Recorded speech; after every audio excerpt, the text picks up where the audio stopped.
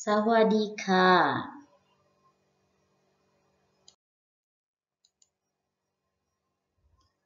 Welcome to our online class. Grade 3, this lesson is for you.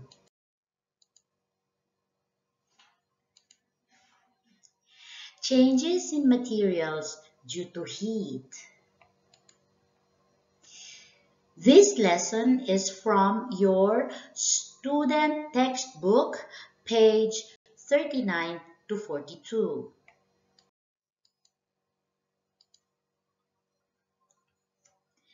There are several factors or several processes that changes the appearance of materials. One factor that change material's appearance is what we call heat. Heat changes the physical appearance of materials. And there are several ways to apply heat in materials. For example, melting, boiling, cooking, grilling, frying. Those processes need heat to change the appearance, the content, the structure of a material. Now let's take a look how do these processes use heat to change the appearance of a material. Let's start with melting. Melting is the process wherein solid materials melt to liquid. For example, ice cubes. Ice cubes are solid. However, if they are exposed to warm temperature, they will start to melt. So we say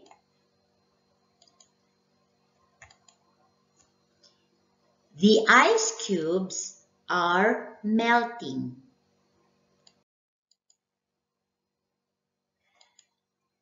Another example of melting, which is very familiar to children like you, is the melting popsicle.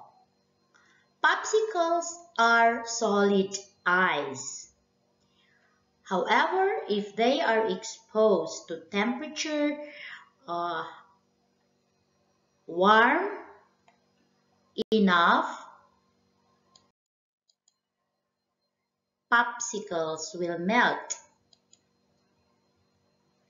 So we say the popsicles are melting.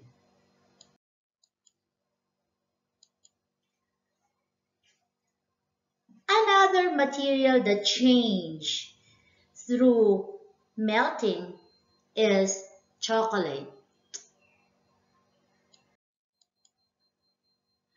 Chocolates, when exposed to warm or hot temperature, chocolates melt. So we say the chocolate bar is melting.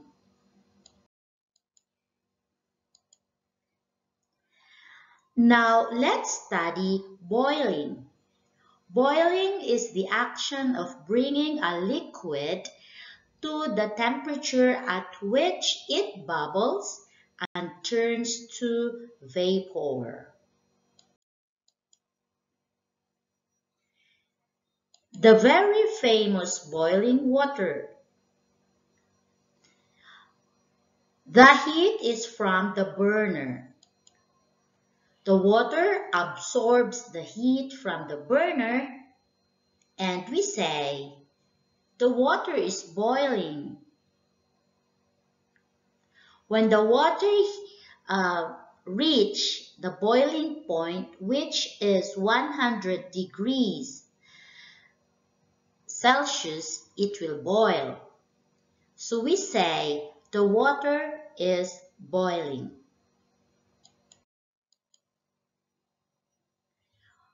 For example, you and your family are out for camping. So you boil water using fire. So the heat comes from the burning firewood absorbed by the pot and the water inside the pot boils. So we say the water is boiling.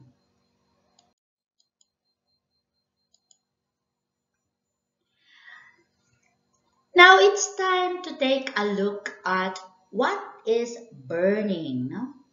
Burning is to undergo a rapid combustion in such a way as to give off heat, gases, light, and fire.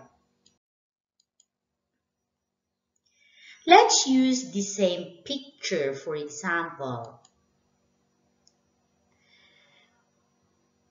The firewoods are burning. Okay, say it again. The firewoods are burning. That is how heat changes the firewood through burning. The rubbishes are burning. Or we can say, it is burning. Or the papers are burning. So from a white soft paper, it turns into ashes. The appearance changes because of heat.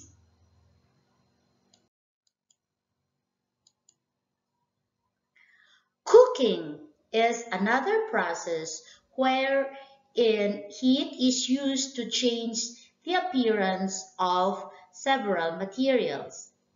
Cooking means applying heat to food, whether the food is baked, fried, boiled, sauteed, or grilled. Look, he has baked the breads. So he uses heat to bake the bread.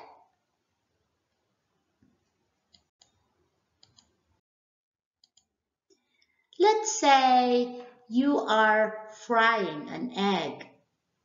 Observe how do the egg changes its appearance after heat is applied.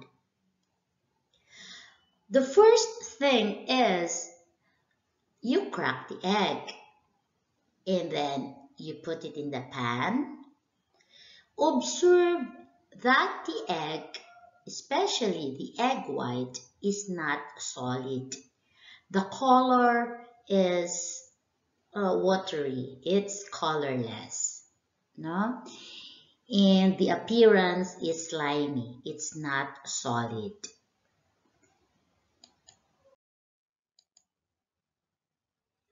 So the egg is in the pan. Look, observe the color of the egg white, particularly the egg, egg white. It's colorless, no color. It's, it looks like a slimy water. When you start applying heat under the pan, the egg white will slowly or gently change its color from a colorless it turned to be white and from a slimy watery egg white it turns solid egg white. That is how heat changes the appearance of egg when it is cooked. Now let's compare cooked egg from uncooked egg. See the difference? First, the egg white transparent if it is uncooked. If it is cooked, it turned white. And it's slimy if it is uncooked. However, if it is cooked, it turns solid. So that is how heat changes materials. Another example. Hmm? The bread. Let's say you're toasting a bread. As you can see, the bread is soft and white. However, if you toast it, if you use heat to toast it, it turns brown and crispy. Look.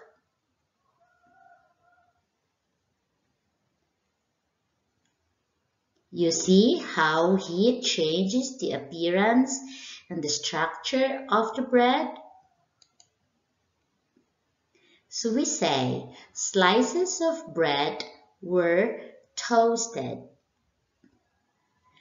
From a white soft bread to toasted brown crispy bread. Another example, look.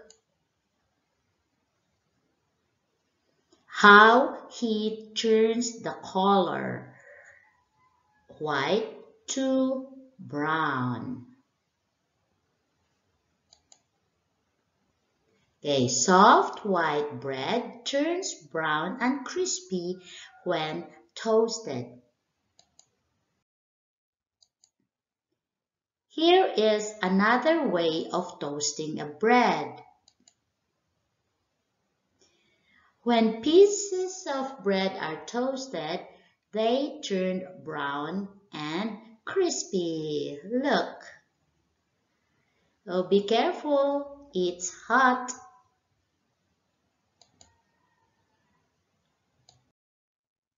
Another example of grilling is to grill a fish. Look how heat changes the color and the appearance of the fish. Now, from a colorless fish to brown, crispy skin of grilled fish. So we say, when fish are grilled, their skin turn brown and taste yummy. Look at the patty and the chicken breast. And of course, the sausages. How he changes the color of those materials. Okay, grilled pork chops turn brown, crispy, and taste delicious after applying heat.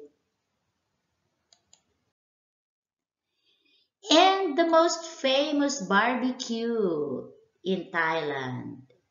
Look how heat changes the appearance of barbecues. So we say barbecues turn brown, smell good, and taste yummy after applying heat on them. How about the fries? Observe the color and the texture of slices potatoes, sliced potatoes when it is fried. Okay, potato fries turn golden when fried. And it tastes yummy, no? Another example, look how the color changes. Hmm? Slices of meat turn brown when fried. That is what we mean by applying heat to food, whether the food is baked, fried, boiled, sauteed, or grilled.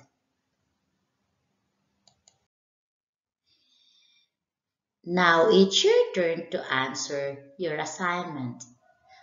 Put out your workbook, open it on page 28 to 29. Answer the pages, exercises. You did an amazing job today, so I will give you two thumbs up and five stars. Isn't that amazing? I hope you learned something from me today. Thank you for attending my class. This is Norbel Quatres saying, Kapun ka, sawadi ka.